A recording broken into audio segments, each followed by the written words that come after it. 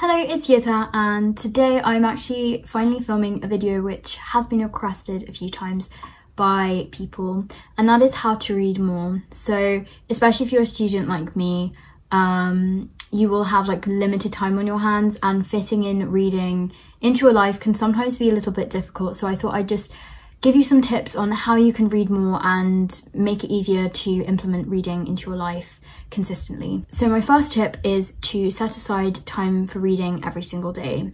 Find a time that works for you and just make it non-negotiable like you have to read in that time it could be as little as 10 minutes a day or it could be an hour a day um, for example i will read minimum 20 to 30 minutes before i go to sleep but i also tend to read whilst i'm eating breakfast and also any breaks that i have from studying or even just any time that I have in the day spare, I will just try to read. Or alternatively, if your schedule changes a lot from day to day, you could just say, okay, read at least 30 minutes a day. Or you could set a minimum number of pages to read. So for example, read at least 50 pages a day. But either way, just setting aside some time for reading and dedicating that period of time for reading, um, you will just be more likely to read more books.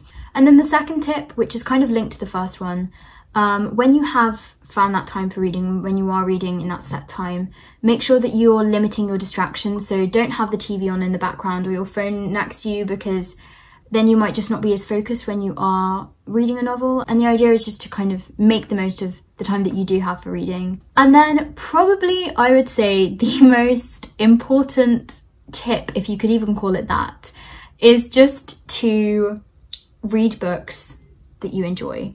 Now this might sound really silly, but find the genres that you love to read and just read those genres. Obviously it's important to read outside of what you love and you know try new genres, try non-fiction if you don't read that very often.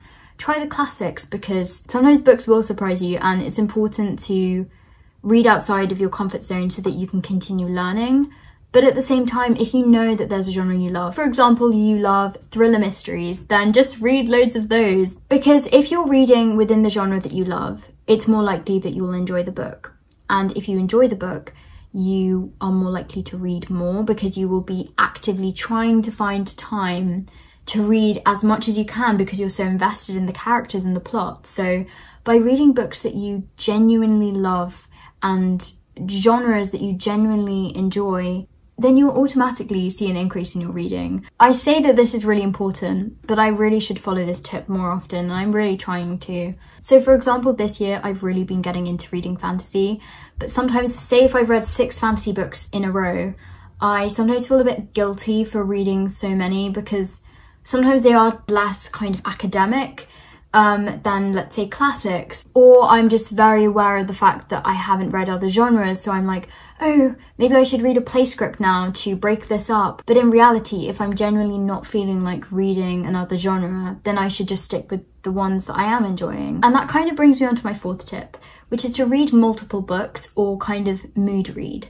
So I am always reading multiple books, which I didn't used to do, but I've gotten into the habit of doing it now. And I do understand that that's not for everyone. Some people find it confusing, but the way that I do it is I will always be reading a book with my sister. So I, I read, I'm currently reading the series Unfortunate Events to them. And then I'm also obviously reading a book um, for myself for pleasure. And occasionally if I'm reading, let's say a really dense classic or a very kind of detailed non-fiction book, I will then also be reading like an easier fiction, like YA novel on the side to have a break from this dense book. And then tip number five is to always bring a book with you. So wherever you go, even if you know that you'll never get a chance to read where you're going, just put a book in your bag because sometimes you will end up having time, even if you didn't think you would you know, during travel, or let's say you end up having to wait around for a meeting,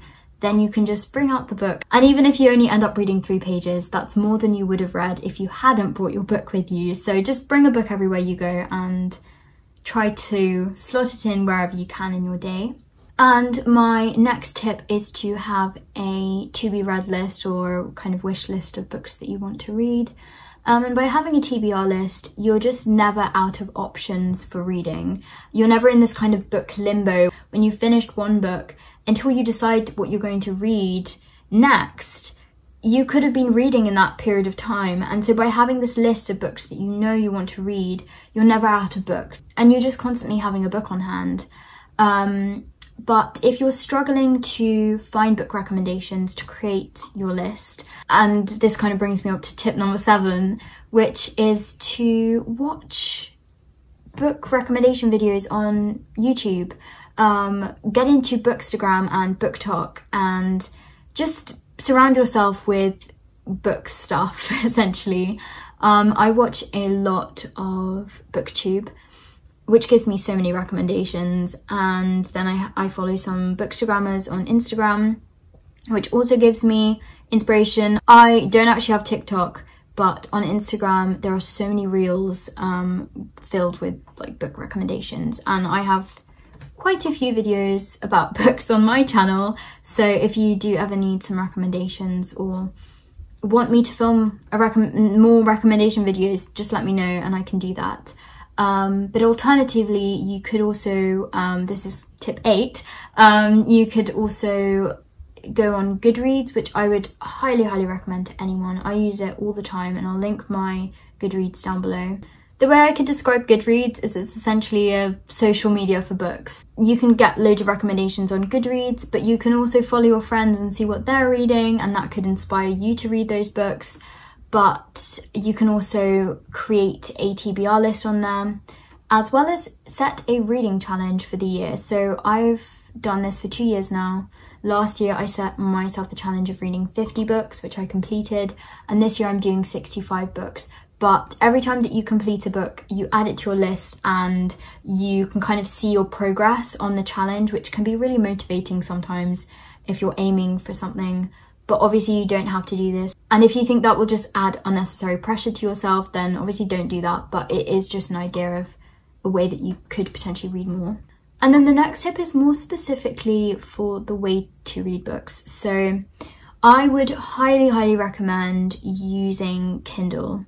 Whether you actually have or buy a Kindle or just use the Kindle app on your phone or computer, Kindle is just absolutely incredible. I love using my Kindle, um, but there are probably two main benefits to using a Kindle. So the first benefit is that Kindle books are much cheaper than physical books.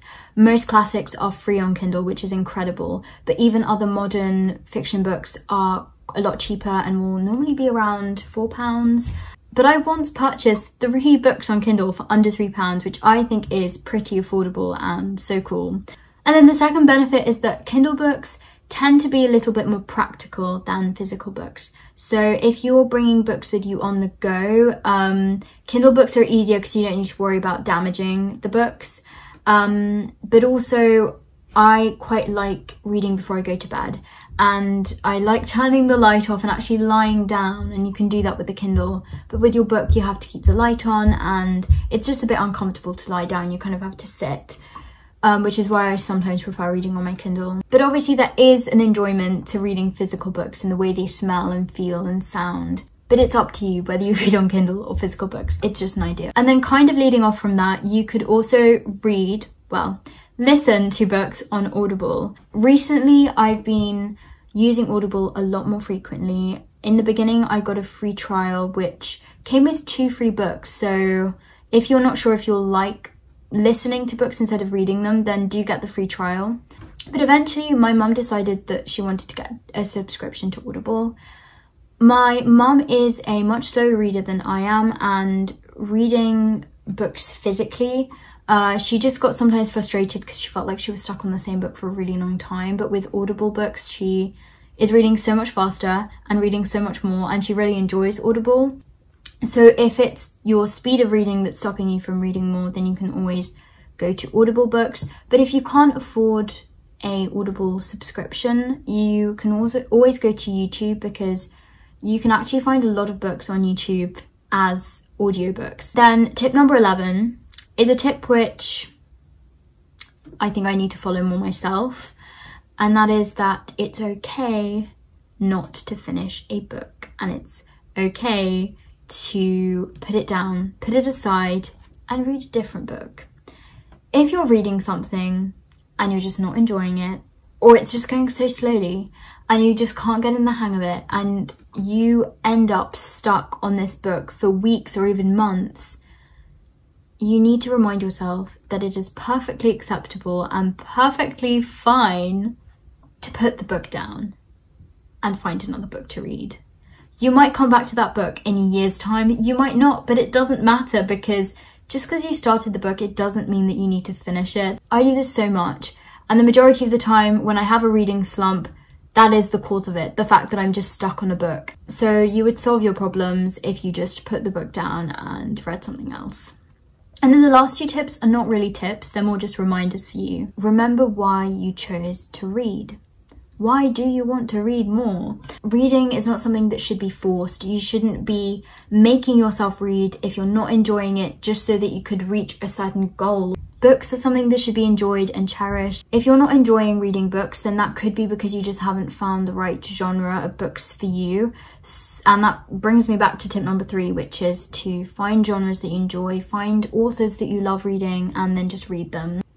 And finally, remember that reading 10 books in a year is just as valid as reading 100 books in a year. I think when you see other people reading, you know, 130 books, um, whether that's in real life or watch, watching YouTube, there can be this pressure that you feel like you should do that too. But everyone is at their own reading pace and that's why you should just never compare the amount that you read with someone else's. This video isn't about how to read 50 books in a year. It's not about the number, it's more about the quality and enjoyment of your reading. Um, the tips are about how to read more than you already are and just read more consistently in your life. So yeah, I hope that these tips helped you in some way and I encourage you to go and take a day out for reading. I did this last week. I decided to just sit down and read Shadow and Bone in a day and I filmed it so if you haven't watched it already, it is on my channel. But um, yes, thank you so much for watching and I hope you have a lovely day. Bye!